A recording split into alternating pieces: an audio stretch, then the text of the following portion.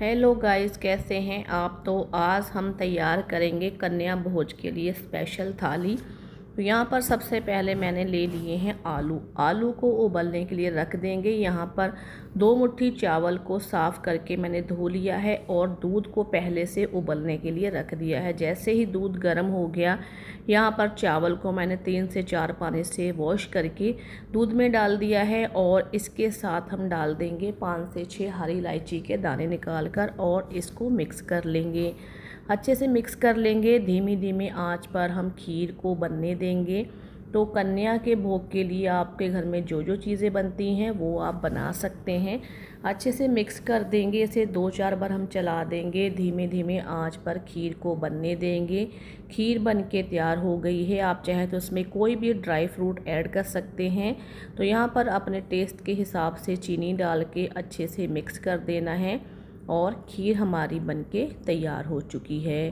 तो अभी यहाँ पर मैं आलू को छील लेती हूँ। जितनी मुझे ज़रूरत थी, उतने आलू मैंने लिए हैं और इनको उबाल लिया है। उबालने के बाद छील कर इन्हें थोड़ा मैश कर लेंगे। तो अब आलू की सब्ज़ी बनाने के लिए हरी मिर्च, टमाटर, अदरक और साथ ही हरे धनिया को काट लेंगे। सारी चीज़ों को मैंने धो लिया है और यहाँ पर टमाटर को भी मैं काट लेती हूँ। इसके साथ ही हम हरा धनिया भी काट लेंगे। तो गाइस आज मैं बना रही हूँ कन्या भोज के लिए स्पेशल थाली। तो सारी चीज़ें काटने के बाद हम कढ़ाई में डाल देंगे एक चम्मच देसी घी, इसमें लौंग और मोटी काली इलायची डाल देंगे। आप अगर खाते हैं इसमें भोग में, खड़े मसाले तो अब इसमें डालें एक चम्मच जीरा, एक चम्मच साबुत धनिया डाल के अच्छे से भून लेना है। अब इसमें अदरक, हरी मिर्च डाल के भून लेंगे। साथ ही इसमें टमाटर डाल देना है। टमाटर के साथ थोड़ा सा पानी डाल के इसको हम मिक्स कर देंगे, जिससे टमाटर जल्दी सॉफ्ट हो जाएगा। एक से दो मिनट तक हम टमाटर को भून लेंगे। चाहे तो इसके साथ नमक भी डाल सकते हैं, जिससे टमाटर जल्दी भून जाता है। अब यहाँ पर आधा चम्मच हल्दी, आधा चम्मच लाल मिर्च का पाउडर, टेस्ट के हिसाब से नमक और थोड़ा सा इसमें गरम मसाला डाल के, पानी डाल के मिक्स कर देना है। मसाले से जब तेल अलग हो जाए तब यहाँ पर उबले हुए मैश किए हुए आलू डाल देने हैं, अच्छे से मिक्स कर देना है और इसमें एक से डेढ़ कप पानी डाल के अच्छे से मिला के सब्ज़ी को ढक के हम पाँच से सात मिनट के लिए ऐसे धीमे धीमे आँच पर बनने देंगे। ये सब्ज़ी बिना व्रत के या फिर बिना आप भोग के जब भी कभी बनाकर खाएँगे ना, तब भी काफ़ी स्वाद लगती है। तो सब्ज़ी बन के तैयार हो गई है। एक बार मैंने बीच में मिक्स कर दिया था। लास्ट में हरा धनिया डाल देंगी और सब्ज़ी हमारी बन के तैयार हो गई। देख सकते हैं कितनी टेस्टी और कितनी अच्छी ये सब्ज़ी बन के तैयार हो गई है। तो जो लोग लहसुन प्याज नहीं खाते हैं, इस तरीके से बना सकते हैं। अब यहाँ पे किशमिश और मैंने कोकोनट ले लिया है। देसी घी डाल के हम बनाएँगे सूजी का हलवा।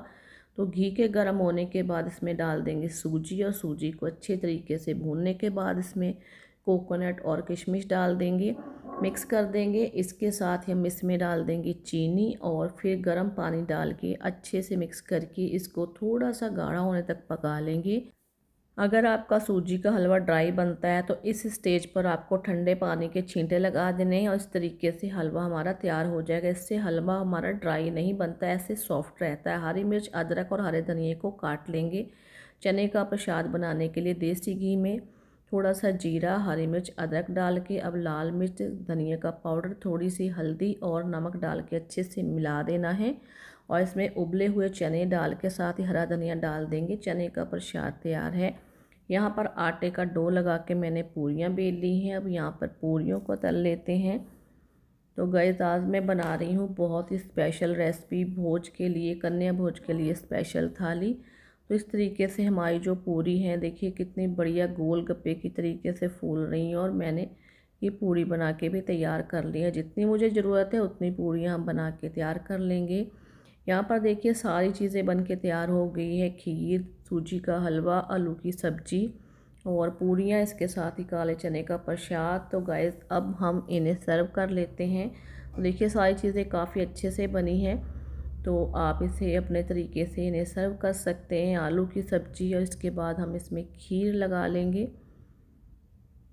तो कन्या भोज के लिए आप इस तरीके से थाली को सजा कर तैयार कर सकते हैं। सूजी का प्रसाद, खीर, आलू की सब्ज़ी, साथ ही काले चने का प्रसाद, पूरियाँ और साथ ही जितने पैसे आप रखना चाहें उतने रख सकते हैं। तो गाइस आप भी बनाएँ, खाएँ, वीडियो को लाइक शेयर और चैनल को सब्सक्राइब करना ना भूलें। वीडियो देखने के लिए आपका बहुत बहुत थैंक्स